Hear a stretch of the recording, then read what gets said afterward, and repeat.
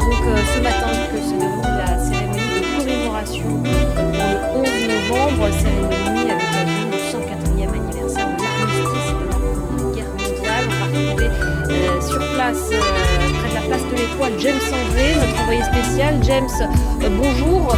Emmanuel Macron a déposé une gerbe sous la statue de Georges Clémenceau. Il va rendre hommage ensuite aux, aux forces armées à l'occasion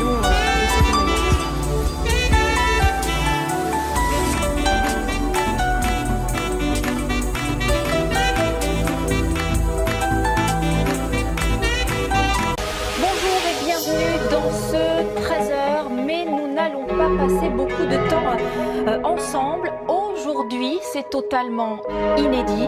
Euh, nous n'allons pas pouvoir vous proposer votre journal de 13h. Nous ne sommes pas en, en mesure de, diffuser un seul reportage. Nous avons ici un, énorme problème euh, technique. Alors croyez-le bien, nous en sommes évidemment désolés. Nous vous prions de excuser. Nous allons devoir en rester là. Je le redis, c'est absolument euh, inédit. Par correction, je tenais à, prendre l'antenne pour vous dire cela et puis pour vous dire aussi que si euh, ce problème venait à se rétablir, eh bien,